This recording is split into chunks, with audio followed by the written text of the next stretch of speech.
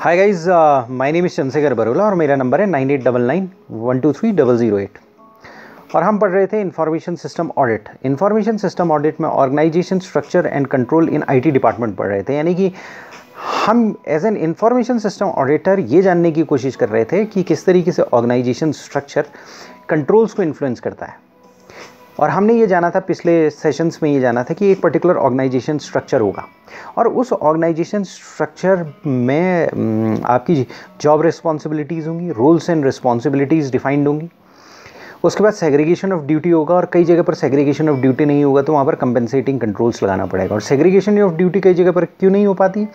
क्योंकि ऑटोमेशन बढ़ता चला जा रहा है कंप्यूटराइजेशन बढ़ता जा रहा है। जहाँ पर दस आदमी काम करते थे, वहाँ पर, एक आदमी या दो आदमी काम करने लगे हैं। तो यानी कि प्रोसेसेस पहले क्या थी? सेग्रीगेटेड थी। बहुत सारे लोग बहुत सारी प्रोसेसेस में इन्वॉल्व रहते थे। और बहुत सारे लोग छोटे छोटे कामों को किया करते थे। यानी कि एक आदमी, एक पर्टिकुलर एरिया एक लेवल ऑफ़ वर्क करता था, फिर दूसरा आदमी दूसरा लेवल ऑफ़ वर्क करता था। तो सेग्रीगेशन ऑफ़ ड्यूटीज़ थी। और सेग्रीगेशन ऑफ़ रिस्पॉन्सिबिलिटीज़ थी। लेकिन आज की डेट में उस चेन में वो आदमी हटाए जा रहे हैं ताकि वो कॉस्ट एफिशिएंसी बढ़ती चली जाए। क्योंकि जहाँ भी आदमी होगा, वहाँ पर उसे पैसा देना पड़ेगा। और अगर जहाँ ऑटोमेशन होगा, वहाँ पर वो कॉस्ट इफ़ेक्टिव होगा। वो हायर टेक्नोलॉजी होगी कॉस्ट इफ़ेक्टिव होगा रिलायबल ज़्यादा होगा। और जैसे आदमी कभी छुट्टी ले लेता है, वो छुट्टी नहीं लेगा। एक रिलायबिलिटी एक मिनिमम अमाउंट ऑफ़ रिलायबिलिटी लाएगी। तो आदमी को सिस्टम से हटाया जाने लग गया तो क्योंकि ऑटोमेशन बढ़ने लगा तो जहाँ पर सौ आदमी काम करते थे, वहाँ पर मालूम पड़ा आज दो या पाँच आदमी काम कर रहे हैं।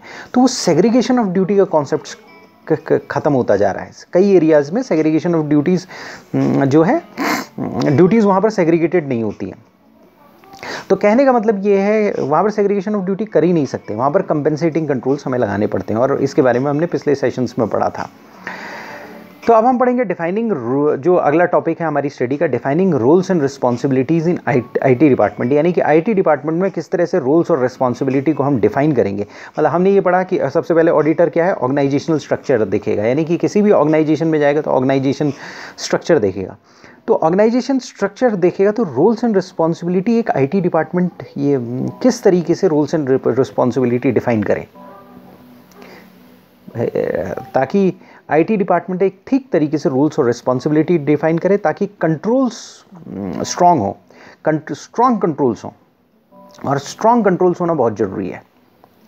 और स्ट्रॉन्ग कंट्रोल्स कब आएँगे? जब आपका ऑर्गेनाइजेशनल स्ट्रक्चर अच्छा होगा। तो आ, हमारी स्टडी रूल्स एंड रिस्पॉन्सिबिलिटी के बारे में बात करती है। तो हमारी स्टडी कहती है कि सबसे क्रिटिकल फैक्टर इंफॉर्मेशन सिस्टम की सिक्योरिटी में ये रिस्पॉन्सिबिलिटी फिक्स करना है।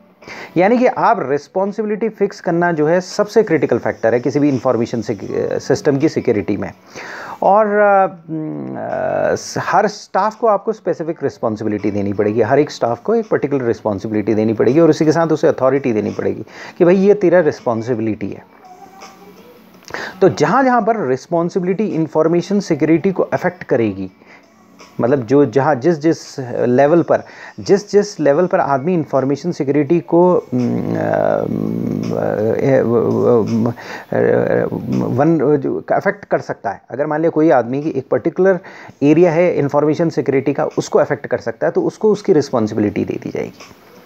यानी कि अगर मान लिया सपोज़ डेटा एंट्री वाला है तो वो डेटा एंट्री कर रहा है, और वो डेटा एंट्री गलत कर सकता है। तो उसे डेटा एंट्री उसको रिस्पॉन्सिबिलिटी वहाँ पर दे दी जाएगी। अगर कोई लाइब्रेरियन है, वो डेटा फाइल्स को सेव कर रहा है तो उस लाइब्रेरियन को वो रिस्पॉन्सिबिलिटी दे दी जाएगी। इन्फॉर्मेशन उससे रिलेटेड डेटा लाइब्रेरी से रिलेटेड इन्फॉर्मेशन सिक्योरिटी की रिस्पॉन्सिबिलिटी दे दी जाएगी। तो कहने का मतलब ये है, जब आप रूल्स एंड रिस्पॉन्सिबिलिटी डिफाइन करेंगे तो रूल्स एंड रिस्पॉन्सिबिलिटी का मेट्रिक्स बनाएँगे तो आपको सबसे पहले क्या है कि रूल्स डिफाइन करना पड़ेगा रिस्पॉन्सिबिलिटी डिफाइन करना पड़ेगा और ये फाइंड आउट करना पड़ेगा ये rules and responsibility information system के की कौन सी सिक्योरिटी के कौन सिक्योरिटी को कहाँ पर अफेक्ट कर रहे हैं ये ये व्यक्ति। जहाँ पर ये सिक्योरिटी को अफेक्ट कर रहे हैं उन, उनको उस चीज़ की रिस्पॉन्सिबिलिटी होनी चाहिए। और अगर आप ऑडिट करने जा रहे हो किसी ऑर्गेनाइजेशन में तो आप यही देखोगे कि भाई ये अफेक्ट कर सकता है डेटा एंट्री को ये अफेक्ट कर सकता है। तो इसके ये इसके पास इस एरिया की इंफॉर्मेशन सिक्योरिटी की रिस्पॉन्सिबिलिटी इसके ऊपर है कि नहीं है? इस पर्टिकुलर डेटा को सिक्योर रखने की रिस्पॉन्सिबिलिटी इसको है कि नहीं है? मालूम पड़ा अगर, मान लिया सपोज़ अगर आपका पेरोल है। पेरोल में इंफॉर्मेशन किसी के पास बाहर नहीं जानी चाहिए। तो जिस ऑर्गेनाइजेशन में, जिन जिन लोगों के पास पेरोल जो पेरोल करते हैं पेरोल की एंट्री करते हैं पेरोल को कंट्रोल करते हैं और पेरोल से रिलेटेड रिपोर्ट लेते हैं। तो उनके पास उनके पास रिस्पॉन्सिबिलिटी उनके ऊपर रिस्पॉन्सिबिलिटी होनी चाहिए कि पेरोल की इन्फॉर्मेशन बाहर नहीं जानी चाहिए। तो आप इंफॉर्मेशन सिस्टम ऑडिटर के रूप में आप जाओगे तो आप ये देखोगे भाई किसकी क्या रिस्पॉन्सिबिलिटी है। और इंफॉर्मेशन सिक्योरिटी को कहाँ पर कौन आदमी किस तरीके से अफेक्ट कर सकता है। और जब आदमी जिस तरीके से अफेक्ट कर सकता है, उस तरह की रिस्पॉन्सिबिलिटी उसे दी सिक्योरिटी रिस्पॉन्सिबिलिटी उसे दी गई कि नहीं दी गई? अगर उस, इस तरीके का मैट्रिक्स बन रहा है तो आप ये समझ लेना इंटरनल कंट्रोल मज़बूत होंगे। आप कह देना, आप जैसे सपोज़ पेरोल जो प्रोसेस कर रहा है, आप उससे बोलना कि भाई, ऐसा है कि पेरोल की इन्फॉर्मेशन कहीं बाहर गई तो तू रिस्पॉन्सिबल है, तेरी जॉब जाएगी। तो फिर वो इन्फॉर्मेशन बाहर नहीं जाएगी। इसके अलावा ये क्या होता है कि रिस्पॉन्सिबिलिटीज़ और ड्यूटीज़ और रिस्पॉन्सिबिलिटी अलग अलग इंडिविजुअल की अलग अलग ऑर्गेनाइजेशन के अनुसार वेरी करती है। क्योंकि ऑर्गेनाइजेशन का नेचर ऑफ़ बिज़नेस हो अलग हो सकता है ऑर्गेनाइजेशन स्ट्रक्चर उसी के अनुसार अलग हो सकता है ऑर्गेनाइजेशन पॉलिसी उसके अनुसार अलग हो सकती है। तो यानी कि आपको स्पेसिफिक ड्यूटी और रिस्पॉन्सिबिलिटी जो है, वो ऑर्गेनाइजेशन के अनुसार होनी चाहिए। अलग अलग ऑर्गेनाइजेशन है अलग अलग सेक्टर्स हैं, जैसे आपका सर्विस सेक्टर है, उसमें अलग रिस्पॉन्सिबिलिटी होगी मैन्युफैक्चरिंग में अलग होगी। अगर सर्विस सेक्टर में जाएँगे तो उसमें भी अलग अलग सेक्टर में अलग होगी ड्रग्स कंपनी में अलग होगी, आपके फार्मास्यूटिकल्स कंपनी में अलग होगी, आपका सॉफ्टवेयर कंपनी में अलग होगी। तो ये रोल्स एंड रिस्पॉन्सिबिलिटी जो है ऑर्गेनाइजेशन पॉलिसी पर डिपेंडेंट डिपेंड करेगा। तो इसके बाद हमारी स्टडी में कुछ रूल्स एंड रिस्पॉन्सिबिलिटी दी गई, इंफॉर्मेशन सिस्टम सिक्योरिटी से रिलेटेड, कि मतलब इंफॉर्मेशन सिस्टम सिक्योरिटी से कौन से लोग जनरली कौन से लेवल के लोग, किस तरह के रूल्स एंड रिस्पॉन्सिबिलिटी एक ऑर्गेनाइजेशन में होगी। तो सबसे पहले सीनियर मैनेजमेंट है, senior management policy decision manage करता है। यानी पॉलिसी किस टाइप की होगी, किस तरीके की होगी, कौन बताएगा, सीनियर मैनेजमेंट बना, बताएगा और उसे बनाएगा। Plan, plans strategic decision senior management करता है। तो सारी policy related decision senior management करेगा तो पॉलिसी वो बनाएगा। उसके अलावा सिक्योरिटी या फंक्शनल मैनेजर होंगे या एप्लीकेशन ओनर्स होंगे। मतलब आपका कोई एप्लीकेशन है, उसके ओनर्स होंगे। मतलब कोई, जैसे फॉर एग्जांपल आपके फाइनेंस डिपार्टमेंट में कोई ई e है तो उसका फाइनेंस डिपार्टमेंट ओनर होगा। टैली है तो उसका फाइनेंस डिपार्टमेंट ओनर होगा। इसके अलावा ऑर्गेनाइजेशन में इंफॉर्मेशन सिस्टम सिक्योरिटी मैनेजमेंट हो सकता है। सिक्योरिटी के लिए अलग मैनेजमेंट होगा। टेक्नोलॉजी प्रोवाइडर्स हो सकते हैं, सपोर्ट एंटरप्राइजेज हो सकते हैं और यूज़र्स, सपोर्टिंग एंटरप्राइजेज हो सकते हैं और यूज़र्स हो सकते हैं। तो यानी सीनियर मैनेजमेंट और यूज़र्स तो सबको समझ में आता है। एप्लीकेशन ओनर्स थोड़ा डिफ़िकल्टी होती है एप्लीकेशन के ओनर्स होते हैं, हर डिपार्टमेंट का एप्लीकेशन होती है परटेनिंग वो उसके एप्लीकेशन ओनर्स होते हैं और आईटी डिपार्टमेंट इन एप्लीकेशन का कस्टोडियन होता है। इसके अलावा सिक्योरिटी के लिए इंफॉर्मेशन सिस्टम सिक्योरिटी मैनेजमेंट होते हैं, फिर टेक्नोलॉजी जो प्रोवाइड कर रहे हैं वो टेक्नोलॉजी प्रोवाइडर होते हैं और सपोर्टिंग एंटरप्राइजेज होते हैं। तो बेसिकली इस तरीके इस तरीके से हम रोल्स एंड रिस्पॉन्सिबिलिटी को डिवाइड कर सकते हैं ऑर्गेनाइजेशन में। और यही लोग जो है इंफॉर्मेशन सिक्योरिटी के चारों तरफ़ इन्वॉल्व रहते हैं। तो हम एज एन ऑडिटर हम क्या है आईएस सिक्योरिटी को हम देखेंगे कि आईएस सिक्योरिटी कैसी है इन्फॉर्मेशन सिस्टम सिक्योरिटी कैसी है, उसको हम ऑडिट करेंगे। तो उसको ऑडिट करने के लिए हमें सबसे पहले क्या देखना पड़ेगा? ऑर्गेनाइजेशन का ऑर्गेनाइजेशनल मेट्रिक्स देखना पड़ेगा। ऑर्गेनाइजेशनल मेट्रिक्स के बाद देखना पड़ेगा रिस्पॉन्सिबिलिटी किस तरीके से फिक्स की गई है। उसके बाद ये देखना पड़ेगा, जब जो रिस्पॉन्सिबिलिटी फिक्स की गई है तो जो भी आदमी जो रिस्पॉन्सिबिलिटी दे रहा है, ले रहा है इंफॉर्मेशन सिस्टम डिपार्टमेंट में जो जो रिस्पॉन्स रिस्पॉन्सिबिलिटी ले रहा है तो उसके पास एक पावर आ जाती है। वो ऑर्गेनाइजेशन में एक पर्टिकुलर इंफॉर्मेशन सिस्टम को अफेक्ट कर सकता है। तो जहाँ जहाँ पर वो अफेक्ट कर सकता है, वो वो उसकी सिक्योरिटी रिस्पॉन्सिबिलिटी भी उसके ऊपर डाल देनी चाहिए डाल देनी पड़ेगी कि भाई इसको सिक्योर करना है, इसको ये पर्टिकुलर चीज़ तुम अफेक्ट कर सकते हो इंफॉर्मेशन सिक्योरिटी सिस्टम में। तो इन चीज़ों की सिक्योरिटी की रिस्पॉन्सिबिलिटी भी तुम्हारे पास रहेगी। तो अगर आप उन पर रिस्पॉन्सिबिलिटी डाल दोगे तो आपका सिस्टम ज़्यादा सिक्योर हो जाएगा। तो एक इंटरनल कंट्रोल के रूप में वो काम करेगा। तो ऑर्गेनाइजेशनल जो मैट्रिक्स या ऑर्गेनाइजेशनल ऑर्गेनाइजेशन ऑर्गेनाइजेशनल स्ट्रक्चर के बारे में हमारी स्टडी इसलिए बता रही है, क्योंकि as an information system auditor आप ऑर्गेनाइजेशनल स्ट्रक्चर को देखकर काफ़ी कुछ समझ जाओगे कि कितना इंटरनल कंट्रोल यहाँ पर मज़बूत है। और फाइनली जो अल्टीमेट रिस्पॉन्सिबिलिटी होती है सिक्योरिटी की, वो किसकी होती है? वो सीनियर मैनेजमेंट की होती है। मतलब आईटी का जो स्ट्रेटेजिक मैनेजमेंट होता है और फाइनली ऑर्गेनाइजेशन का स्ट्रेटेजिक मैनेजमेंट होता है, उनकी रिस्पॉन्सिबिलिटी होती है। इनकी रिस्पॉन्सिबिलिटी होती है कि ऑर्गेनाइजेशन सिक्योर करे और इनके हाथ में पॉलिसी डिसीजंस होते हैं और इनके हा, इनको यही रोल्स बनाते हैं, यही रिस्पॉन्सिबिलिटी डिफाइन करते हैं। यही पॉलिसी बनाते हैं और वो पॉलिसी के पॉलिसी ऐसी बननी चाहिए जिससे कि ऑर्गेनाइजेशन में सिक्योरिटी रहे कंट्रोल्स मज़बूत रहे। तो ये जब पॉलिसी बनाएँगे सीनियर मैनेजमेंट जब पॉलिसी बनाएगा, क्योंकि इनकी अल्टीमेट रिस्पॉन्सिबिलिटी है ऑर्गेनाइजेशन की सिक्योरिटी की तो ये पॉलिसी इस तरीके से बनाएँगे कि वो ऑर्गेनाइजेशन के अनुसार हो, किस सेक्टर का ऑर्गेनाइजेशन है, बड़ा ऑर्गेनाइजेशन है, छोटा ऑर्गेनाइजेशन है। तो बड़ा ऑर्गेनाइज छोटे ऑर्गेनाइजेशन में कई लोग एक आदमी कई टास्क परफॉर्म कर रहा होता है। बड़े ऑर्गेनाइजेशन में, वहाँ पर segregation of duty proper segregation of duty होती है। लेकिन वहाँ पर भी कई कई छोटे छोटे डिपार्टमेंट्स ऐसे होते हैं, जिसमें एडिकेट लोग नहीं होते हैं। क्योंकि वो डिपार्टमेंट एफिशिएंट हो गए हो गए, होते, हो गए होते हैं। कई केसेस में वो एफिशिएंट हो गए होते हैं। ऑटोमेटेड हो गए होते हैं। कहीं पर एम्प्लॉय की कमी हो रही होती है। तो वहाँ पर ये देखना पड़ेगा कि इंफॉर्मेशन सिस्टम की सिक्योरिटी इंटरनल कंट्रोल्स मज़बूत हैं कि नहीं है? अगर नहीं है, अगर रोल्स एंड रिस्पॉन्सिबिलिटीज़ या सेग्रीगेशन ऑफ़ ड्यूटीज़ उतना इंटरनल कंट्रोल इतना स्ट्रॉन्ग इंटरनल कंट्रोल नहीं कर सकती तो आपको क्या करना पड़ेगा? कंपेंसेटिंग कंट्रोल्स लगाने पड़ेंगे और कंपेंसेटिंग कंट्रोल्स लगा के आपको कंपेंसेट करने पड़ेंगे कंट्रोल्स को।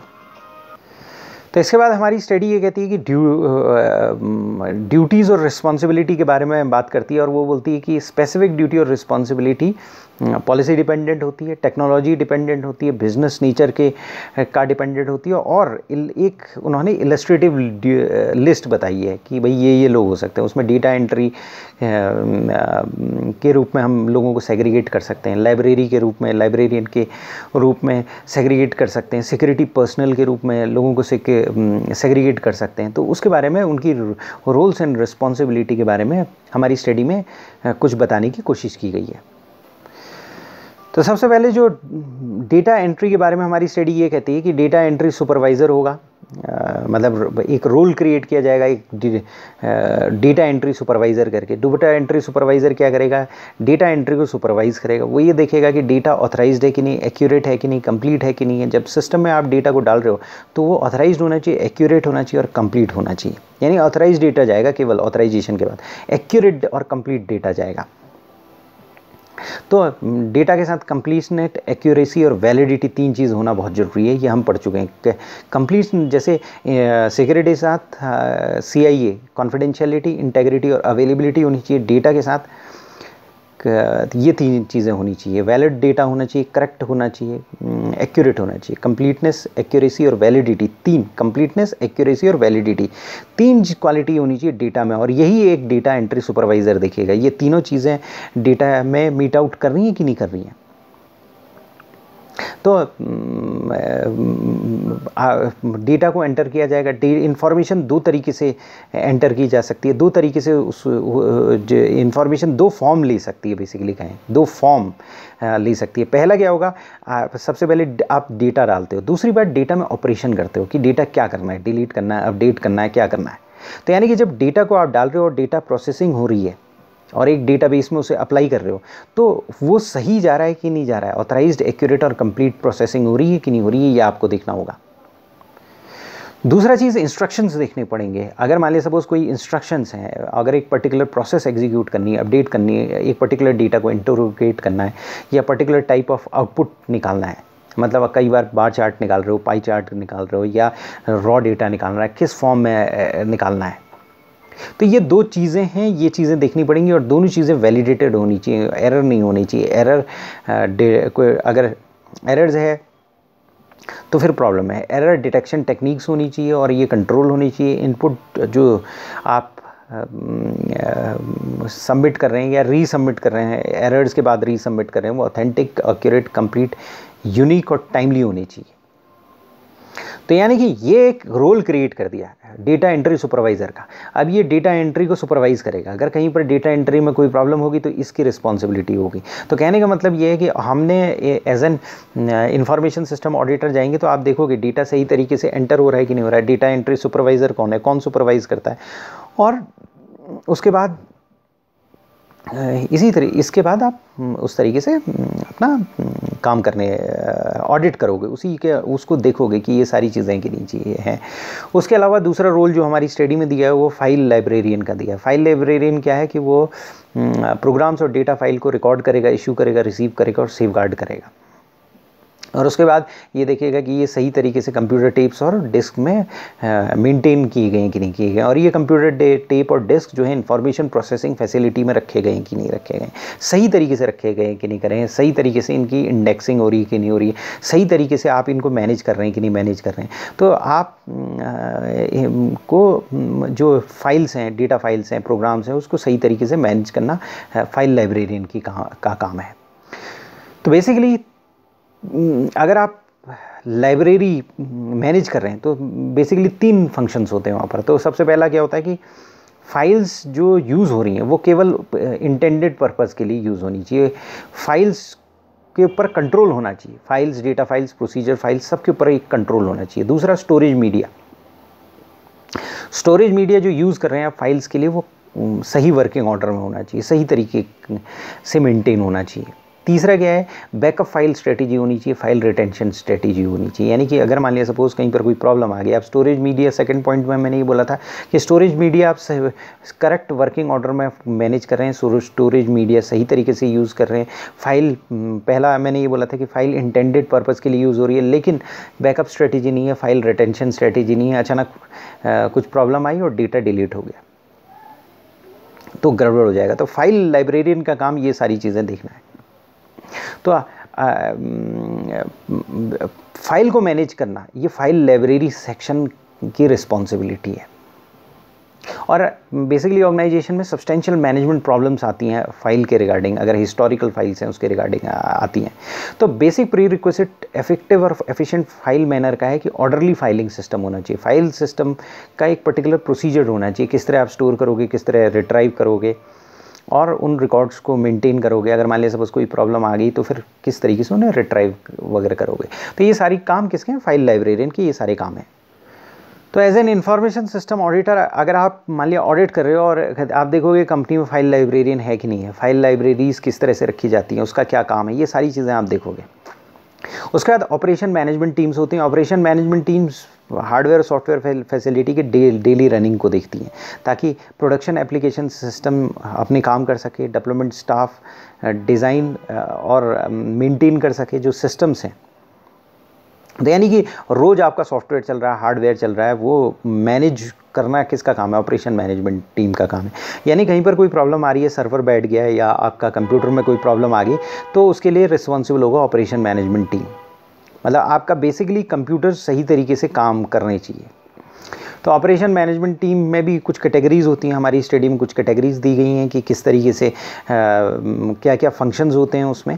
तो कई अलग ऑर्गेनाइजेशन में अलग अलग वेरिएशन होंगे। सबसे पहले जैसे कंप्यूटर ऑपरेशंस होगा कंप्यूटर नेटवर्क कंट्रोल होगा डेटा प्रिपरेशन होगा फ़ाइल लाइब्रेरी होगी डॉक्यूमेंटेशन लाइब्रेरी होगी परफॉर्मेंस मॉनिटरिंग होगी। तो ये सारे जो काम हैं ये सारे फ़ंक्शंस हैं। वो नॉर्मल आईटी डिपार्टमेंट करेगा, वो कंप्यूटर को ऑपरेट करेगा हार्डवेयर सॉफ्टवेयर ऑपरेट करेगा कंप्यूटर ऑपरेशंस जो हमारी स्टडी में दिया हुआ है, उसका मतलब ये है कि हार्डवेयर और सॉफ्टवेयर को ऑपरेट करेगा परफॉर्मेंस मॉनिटरिंग करेगी, एक परफॉर्मेंस होगी, उसकी मॉनिटर कर, करेगा कम्युनिकेशन नेटवर्क कंट्रोल करना उसका काम होगा डेटा को preparation data preparation file library और डॉक्यूमेंटेशन लाइब्रेरी को मेनटेन करना उसका काम होगा। तो जो ऑपरेशन मैनेजमेंट के काम है वो रूटीन और मंडेन काम है, रोज़ के काम है। लेकिन रोज़मर्रा के काम का मतलब ये नहीं है कि भाई कई बार ये लगेगा, ये रूटीन काम है मंडेन काम है। लेकिन अगर उसकी अहमियत तब पता चल जाएगी जब वो काम रुक जाएँगे। अगर वो ठीक तरीके से काम नहीं कैरी आउट होंगे, उसके सीरियस कॉन्सिक्वेंसेज हो सकेंगे पूरा सिस्टम ही बैठ सकता है। मतलब सिस्टम रेगुलरली जो काम कर रहा है, जो रोज़ के काम कर रहा है, कई बार रोज़ एक घड़ी चल रही है रेगुलर चल रही है। तो कांस्टेंट चलती है। जब वो रुकती है तो हमें पता चल जाता है कि भाई घड़ी रुक गई, तब टाइम कहीं और से देखें। तो उसी तरीके से एक ऑर्गेनाइजेशन है। वो कांस्टेंट मूवमेंट में रहना चाहिए। उसका मूवमेंट अगर रुकेगा तो प्रॉब्लम क्रिएट हो जाएगी। तो ऑपरेशन मैनेजमेंट टीम का यही काम है कि constantly twenty four by seven three sixty five days काम चलते रहना चाहिए। Show must go on business must go on तो ये ऑपरेशन मैनेजमेंट टीम एक रोल्स एंड रिस्पॉन्सिबिलिटी इसके अंदर बहुत सारे सब रोल्स और रिस्पॉन्सिबिलिटीज़ होंगे। तो हम ये रोल्स और रिस्पॉन्सिबिलिटी देख सकते हैं कि, और जब हम ऑडिट करने जाएँगे। इसके अलावा सिक्योरिटी एडमिनिस्ट्रेशन हो सकता है। सिक्योरिटी एडमिनिस्ट्रेशन किसी भी डेटा प्रोसेसिंग एंटरप्राइज में जो फ़िज़िकल सिक्योरिटी के लिए रिस्पॉन्सिबल है। अगर दूसरे शब्दों में कहा जाए सिक्योरिटी एडमिनिस्ट्रेटर ये अटैम्प्ट करता है कि जो सिस्टम सिक्योर रहे। मतलब जो फ़िज़िकल फैसिलिटीज़ हैं, वो सही तरीके से डेवलप हो इम्प्लीमेंट हो मेंटेन हो, उसमें सिक्योरिटी ब्रीच ना हो। कोई थ्रेट्स ना आए। ऑर्गेनाइजेशन की जो कंटिन्यूटी है, उसमें कोई थ्रेट ना आए। छोटे ऑर्गेनाइजेशन में कई बार क्या होता है कि टर्न की पर्टिकुलरली सिस्टम्स होते हैं हार्डवेयर और सॉफ्टवेयर आप खरीद, एक पैकेज लेकर आ गए तो वहाँ पर क्या है डेटा प्रोसेसिंग सिक्योरिटी स्टाफ कई बार नहीं होता है। तो सिक्योरिटी स्टाफ वहाँ पर नहीं होता है। तो क्या होता है कि डेटा प्रोसेसिंग स्टाफ ही सिक्योरिटी स्टाफ बन जाता है। कई ऑर्गेनाइजेशन में आपने देखा आईटी का बंदा कहाँ है उसको ही सिक्योरिटी देख रहा होता है, वही लैपटॉप लगा रहा होता है, वही सारे काम कर रहा होता है। तो अगर किसी एंटरप्राइज़ का अपना डेटा प्रोसेसिंग स्टाफ है, लेकिन इनसफिशेंट काम है तो क्या होगा कि वही आदमी जो आपका डेटा आपका जो डेटा प्रोसेसिंग स्टाफ है, वही सारे काम करने लगेगा। वही सिक्योरिटी का काम करने लगेगा सिक्योरिटी एडमिनिस्ट्रेटर का काम करने लगेगा, वही सारे सिक्योरिटी के सारे के सारे काम करने लगेगा। इवन छोटा ऑर्गेनाइजेशन अगर सौ लोगों का ऑर्गेनाइजेशन है, एक दो आईटी के बंदे होते हैं और वो सारा का सारा काम कर रहे होते हैं। आईटी का आईटी वैसे ही एफिशिएंट रहने की कोशिश करता है। ऑटोमेशन वहाँ पर बहुत ज़्यादा होना चाहिए। जब ऑर्गेनाइजेशन बड़े होते हैं तो रोल्स अलग अलग हो जाते हैं। तो आ, आपको ऑर्गेनाइजेशन में अगर ऑडिट करने जाओगे तो आपको ये देखना पड़ेगा कि किस तरह का ऑर्गेनाइजेशन है किस तरह की सिक्योरिटी है। तो operation management day to day hardware software के रनिंग के लिए रिस्पॉन्सिबल है। और इनके ऊपर फ़िज़िकल कंट्रोल होना चाहिए और लॉजिकल कंट्रोल होना चाहिए। तो कई बार क्या होता है कि ऑपरेशन मैनेजर जो है उसी के ऊपर फ़िज़िकल कंट्रोल की सिक्योरिटी और लॉजिकल कंट्रोल की सिक्योरिटी रख दी जाती है क्योंकि वही वो काम कर रहा है, वही उसका एक्सटेंशन हो जाता है। सेपरेट सिक्योरिटी का स्टाफ नहीं होता है। बड़े ऑर्गेनाइजेशन में हो गए, जहाँ पर सफिशेंट वर्क होता है, वहाँ पर सेपरेट सिक्योरिटी एडमिनिस्ट्रेशन पोजीशन होगी। इन कुछ केसेस में क्या होगा सिक्योरिटी एडमिनिस्ट्रेटर जो है डायरेक्टली रिपोर्ट कर सकता है डेटा प्रोसेसिंग मैनेजर को, या अलग सिक्योरिटी का एक पूरा अलग अगर बड़े बड़े कंपनी है मल्टीनेशनल कंपनी है तो वहाँ पर एक सिक्योरिटी का अलग विंग होता है, अलग जॉब होता है, अलग रिस्पॉन्सिबिलिटी डिफाइंड होती है। तो आपको किसी भी ऑर्गेनाइजेशन में जाओगे तो आपको इन रूल्स और रिस्पॉन्सिबिलिटी को ढूंढना पड़ेगा और ये देखना पड़ेगा कि ये रूल्स एंड रिस्पॉन्सिबिलिटी उस ऑर्गेनाइजेशन में है कि नहीं है। कई ऑर्गेनाइजेशन में ये रूल्स और रिस्पॉन्सिबिलिटी आपको नहीं दिखाई देंगी, इसलिए नहीं दिखाई देंगी क्योंकि उस ऑर्गेनाइजेशन में उतना काम ही नहीं होगा। एक ही आदमी सारे काम कर सकता है। तो स्पेशलाइजेशन नहीं होगा, वहाँ पर सेग्रीगेशन ऑफ़ ड्यूटी नहीं होगी। जहाँ पर सेग्रीगेशन ऑफ़ ड्यूटीज़ नहीं होंगी, वहाँ पर आपको कंपनसेटिंग कंट्रोल्स देखने पड़ेंगे, क्योंकि फिर आपको ये देखना पड़ेगा, ये पर्टिकुलर आदमी सिक्योरिटी को वायलेट कर सकता है। वो आदमी ऑपरेशन से वो आईटी के सिस्टम्स लगा रहा है, सब कुछ कर रहा है, और वो सिक्योरिटी भी आईटी सिक्योरिटी भी देख रहा है। तो वही सिक्योरिटी मैनेजर है, वही आईटी मैनेजर है, वही सब कुछ है। तो बहुत सारे ऑर्गेनाइजेशन में इस तरीके से होता है और छोटे ऑर्गेनाइजेशन में पर्टिकुलरली ये चीज़ें होती है रोल्स और रिस्पॉन्सिबिलिटी इफेक्टिवली डिफाइंड नहीं होती है। तो बेसिकली हमारा ये जो टॉपिक था, ये था defining roles and responsibility in IT department simple और हमें इसमें ये जानना था कि किस तरीके से हम रोल्स एंड रिस्पॉन्सिबिलिटी डिफाइन करेंगे। तो अगर हम इसे समराइज़ करें तो हम ये कह सकते हैं कि रिस्पॉन्सिबिलिटी और रूल्स डिफाइन करने के लिए ऑर्गेनाइजेशन का साइज़ बहुत महत्वपूर्ण है। किस तरीके का ऑर्गेनाइजेशन होगा? जितना बड़ा ऑर्गेनाइजेशन होगा, उसमें उतना ज़्यादा स्पेशलाइजेशन होता चला जाएगा। और जितना ज़्यादा आपका ऑर्गेनाइजेशन ऑटोमेटेड होगा, उसमें क्या है? रूल्स ब्लर होते चले जाएँगे। रूल्स जो हैं, रूल्स और रिस्पॉन्सिबिलिटी एक सेग्रीगेटेड रूल्स कम होते जाएँगे क्योंकि एक आदमी कई चीज़ों को कंट्रोल कर रहा होगा। वहाँ कॉस्ट इफेक्टिवनेस आती चली जा रही होगी एफिशिएंसी बढ़ती चली जा रही होगी। तो आपको ये मिक्स देखना पड़ेगा। आपको ये देखना पड़ेगा as an information system auditor किसी भी कंपनी में जा रहे हो तो बड़ा, बड़ी कंपनी है, छोटी कंपनी है रूल्स क्या है लेवल ऑफ़ रूल्स क्या है लेवल ऑफ़ रिस्पॉन्सिबिलिटीज़ क्या है, ये आईटी डिपार्टमेंट में ये सारी चीज़ें आपको देखनी पड़ेंगी। और इसी के अनुसार हमारी स्टडी में जो कुछ रूल्स दिए हैं data entry file librarian operation manager या सिक्योरिटी मैनेजर इस तरह के रूल्स दिए हैं, उनके सेग्रीगेशन आपको देखने पड़ेंगे कि ये रूल्स है कि नहीं है। तो एक जो हमारी स्टडी में क्या किया गया है, एक ब्रॉड कंपनी के बारे में बताया गया है। बड़ी कंपनी के बारे में बता करके फील देने की कोशिश की गई है स्टार्टिंग में, हर चैप्टर में।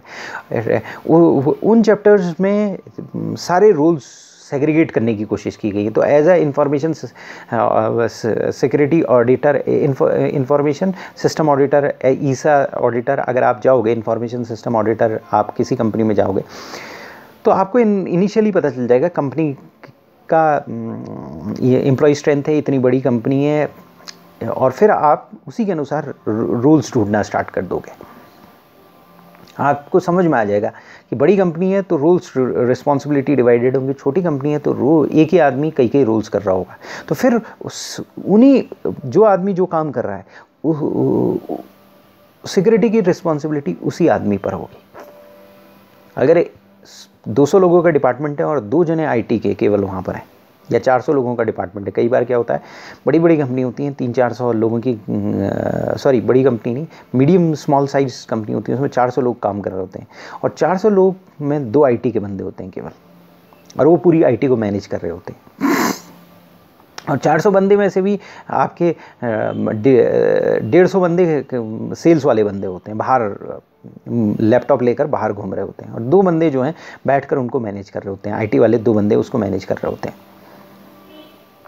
तो कहने का मतलब ये ये दो बंदे जो हैं, इसमें आप क्या रूल्स डिफाइन करोगे? क्या रिस्पॉन्सिबिलिटी सेग्रीगेट करोगे? यहाँ पर रूल्स और रिस्पॉन्सिबिलिटी सेग्रीगेट करना बहुत डिफ़िकल्ट होगा। यहाँ, लेकिन यहाँ पर इन पर सिक्योरिटी की भी रिस्पॉन्सिबिलिटी डाल, इन पर होगी तो इसलिए इनको रिस्पॉन्सिबल होना पड़ेगा उस सिक्योरिटी के लिए। कहीं सिक्योरिटी ब्रीच होगी तो ये दो लोग रिस्पॉन्सिबल होंगे, या इन दोनों में से एक आदमी रिस्पॉन्सिबल होगा। तो ये रिस्पॉन्सिबिलिटी किस पर फिक्स करनी है, आपको ऑर्गेनाइजेशन में जाकर देखना पड़ेगा। यानी कि आप ऑर्गेनाइजेशन में जाओगे डॉक्यूमेंटेशन मंगाओगे, कहोगे, भैया ऑर्गेनाइजेशन मेट्रिक्स लिया ऑर्गेनाइजेशन मेट्रिक्स जाएगा साथ में आईटी के ऑर्गेनाइजेशनल मेट्रिक्स लिया होगे तो आईटी के कितने बंदे हैं, आपको पता चल जाएगा और फिर उसके बाद आप देखोगे किस किस का क्या रूल्स है क्या क्या डेजिग्नेशन है पहले देखोगे और डेजिग्नेशन से रूल समझने की कोशिश करोगे और कई बार डेजिग्नेशन से रूल आपको समझ में नहीं आएगा तो फिर आप जॉब रिस्पॉन्सिबिलिटी मंगाओगे। क्योंकि कई बार क्या होता है ऑर्गेनाइजेशन में दो बंदे हैं, एक आदमी काम ही नहीं कर रहा है, एक ही आदमी सारा काम कर रहा है और वो मैनेजर है और दूसरा आदमी बहुत कम काम काम कर रहा है। छोटे ऑर्गेनाइजेशन है, उसमें ऐसे ही होता है। तो वहाँ पर क्या है आपको जॉब रिस्पॉन्सिबिलिटी मंगानी पड़ेगी जॉब रिस्पॉन्सिबिलिटी मंगा के, और कई बार वो जॉब रिस्पॉन्सिबिलिटी फिक्स नहीं होगी फ्लूड होगी। किसकी जॉब रिस्पॉन्सिबिलिटी क्या है, ये पता ही नहीं होगा। जॉब रिस्पॉन्सिबिलिटी का कॉन्सेप्ट ही वहाँ आता है जहाँ पर थोड़ी बड़ी कंपनी हो जाती है। तो वहाँ पर फिर लोगों के पास जॉब रिस्पॉन्सिबिलिटी के बारे में अवेयरनेस आनी स्टार्ट हो जाती है। तो इन लिमिटेशंस को होते हुए आप किसी ऑर्गेनाइजेशन में जाओगे और कई इन्फॉर्मेशन ऑर्गेनाइजेशन में इंफॉर्मेशन सिस्टम ऑडिट करने के बाद आपको एक्सपीरियंस हो जाएगा, आपको समझ में आ जाएगा कि भाई एक कॉमन सेंस से आपको समझ में आ जाएगा, फ़ी, जो ऑर्गेनाइजेशन के अंदर जाती है, आपको समझ में आ जाएगा कि यहाँ की ऑर्गेनाइजेशनल मेट्रिक्स क्या है और इंफॉर्मेशन सिक्योरिटी किस लेवल की इस ऑर्गेनाइजेशन में है। थैंक्स